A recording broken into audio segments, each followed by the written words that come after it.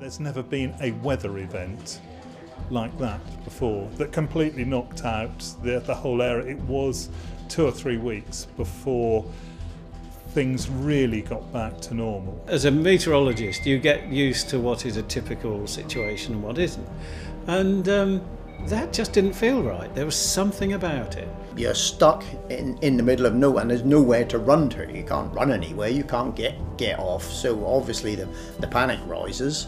Um, and then to be told that, that that was too windy for the choppers to fly, that didn't go down too well either. The mess, the damage, it, it was heartbreaking. The 15th and 16th of October 1987 brought a storm so powerful it left a trail of destruction, the worst in living memory. In the early hours of that morning, East Anglia was one of the places to take that hit. Winds over 90 miles an hour left buildings destroyed, phone and power lines down, and thousands of trees ripped from the ground. All indelible memories for everyone who was there. Paul Geater was working as a reporter that day in Ipswich. I had a phone call at six o'clock in the morning from my news editor who said, um, I need you to come into work. You're the first person I've actually managed to get hold of. It was very difficult to get really information about what was at, what was happening out there, and it was very much pot luck who you could speak to where you could get through to somebody, and to some extent, you were dealing on rumour, conjecture, um, and literally going out and seeing what you could find. There was a story in every village and on every street corner as the storm unexpectedly moved off the channel and across our part of the country. But with communication lines down, reporting itself became a dangerous job. I was told, "Oh, go and have a look round there. It's, it looks really spectacular down there." And there it had also brought down some high voltage overhead wires. And I was told, "Oh, don't worry about those. The electricity board have switched them off hours ago. There's no worry." And I was about to move one of these wires to go past, and at that moment, one last leaf came down, hit it, and just went.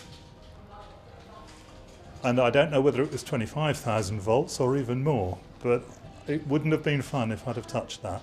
In total, 18 people were killed across the UK that night. One was Sidney Riches, a West Norfolk farmer. That was after a car crash involving a lorry near to King's Lynn, where part of the road was blocked by a fallen tree. Famously, no one expected the storm to be so big. Forecasters Jim Bacon and Phil Garner now work for WeatherQuest at the University of East Anglia. At the time, Jim worked for Anglia TV, Philip for the Met Office, and as the storm approached, they knew from the reports that something wasn't right. Something strange was, was happening. Some of the observations from these ships down in the southwest uh, were starting to uh, be faulted. And it was related to the pressure falls. We couldn't quite work out why. The, the system was throwing out these messages, and when we looked at them closely, it because, because the pressure was falling so quickly. And more and more of these messages were coming up as we went through the afternoon. It was a wonderfully clear night, and you could see all the stars. It was windy, middle of October, and it felt as warm as toast. And that just felt wrong. As a meteorologist, you get used to what is a typical situation and what isn't. And um, that just didn't feel right. There was something about it. For a temperature of 17 degrees Celsius at one o'clock in the morning, clear skies in the middle of October. The roof of Ipswich bus depot was blown off, lorries blown over, like on the Orwell Bridge and on the Acle Straight. Caravan parks and tourist attractions along our coastlines were damaged, and a prison ship at Harwich Harbour broke from its moorings and was left drifting in the storm. But 45 miles out into the North Sea, off the east coast, was John Cullum, working on a live gas drilling rig, and with a potential catastrophe heading their way.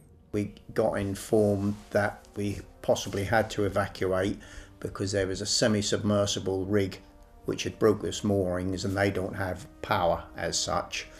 And that was on course, collision course, with us. They said they were going to scramble the helicopters, but then they said that was too windy for the choppers to fly. And after a few hours, I think the wind abated enough for the helicopters to fly, Um, so we all had to don abandonment suits, crawl across the heli deck on the net, hands and knees, uh, while the chopper was sitting on the heli deck with the rotors running, and that was still so windy that the helicopter was going up and down in the wind. They were flown to safety at a neighbouring platform and saw the drifting vessel pass just a few hundred metres from their rig. A close call that could have been so much worse. The rig I was on was live, I mean, that was drilling, so you were down, you know, in the gas fields, so anything could have happened. It's just a panic situation, and we're all doing as we're told because we're told, and that's, uh, you know, it's the right thing to do, and you think that's the best thing to do. You know, the option wasn't to stay behind, the option was to get off if you could.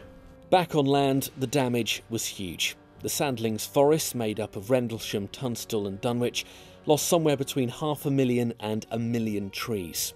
It was one of the worst hit areas in the whole of the country. In the Immaculate Gardens of Blickling Hall in Norfolk, the gardening team were left with a huge clear up job that took years to complete. In total, 265 trees were lost. We looked round, it was heartbreaking to see all this mess, and the trees were lying down flat on the ground like show jumping. Uh, all the jumps were there, trees were hung up, branches were hung up, and it, it was just a, a, a mess, and we just didn't know really where to start. Uh, it took a full two years before we actually cleared everything up, ready to reseed. Historic trees were blown down and years of painstaking work and care blown away in just a matter of minutes. But it took years to return the gardens to their former glory. It was five or six years, and because, as I say, the little microclimate we got, the trees had shot up fairly well. And today, 30 years on, you can see some of the trees are 50, 60 feet, and um, a lot of people in the early days said, Well, did you get any damage? Because we had cleared up so well.